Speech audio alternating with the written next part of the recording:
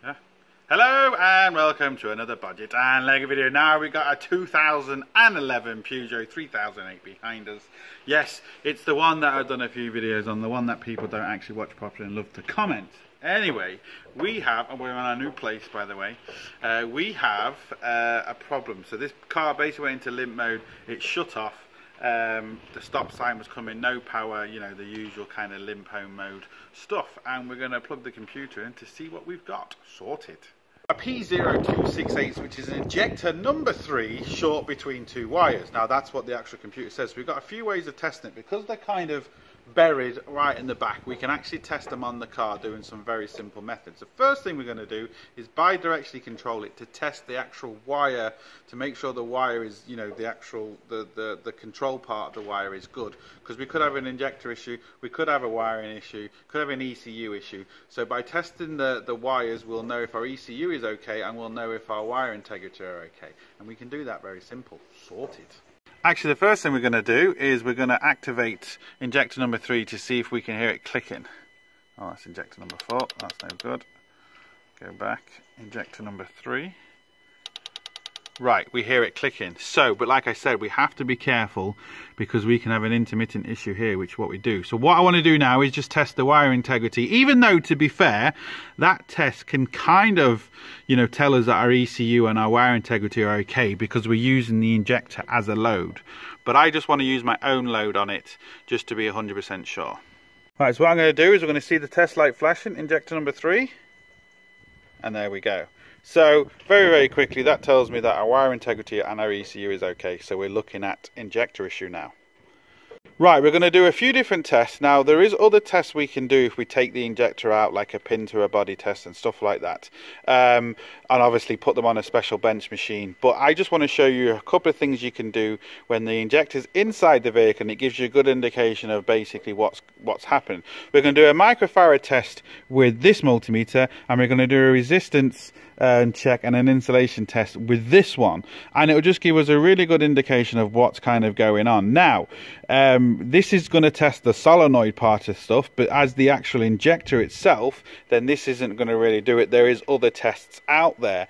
But it'll give you a good indication. And the only real proper way to test any diesel injector you know properly is to take them out and get them put on a, on a proper flow bench. But this will still give me a really good indication of where to go you know to take out injector number three you know to replace them all or whatever the case may be. It just gives us a really good indication of where to go first. Sorted.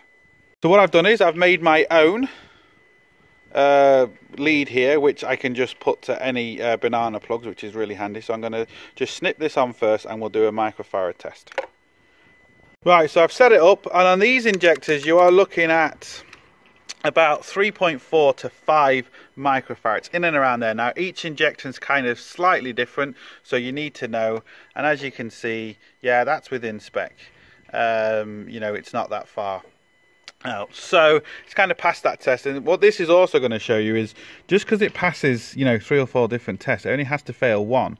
And like I said, this is really going to show us um, the kind of the beans of it because I've seen these injectors pass an oscilloscope waveform, you know, they look perfect, but it's an intermittent fault, and this will kind of find them where the oscilloscope, you have to obviously put it on at exactly the right time, it tends to fail, which, you know, could be quite difficult. So, we passed that test.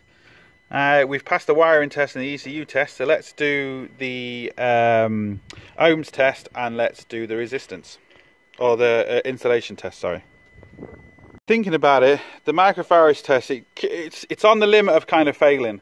Um, it is close to kind of the limit, but what we're going to do now is we're going to do an uh, we're going to do an ohms test, and we want to see on this particular one around about 200 kilo ohms. As you can see, our leads are touched together. We're zero zero, completely ohmed out. So now what we're going to do is we're going to put it in, and we're going to see what we get. Now with this test also you can do a pin to a body but I can't do this because the injector is in. 197 kilo ohms, we're, you know, we are within the ballpark, that's absolutely fine. Um, if the injector was out you would do a pin, both pins to a body but like I said we're doing, we're doing ones where the injector isn't out. So we'll clip our wire back on and we wanted to see around about 105 volts or over 100 volts for a good for a good um, injector solenoid and we'll press the button. 45 volts. 46 yeah so that is that's no good.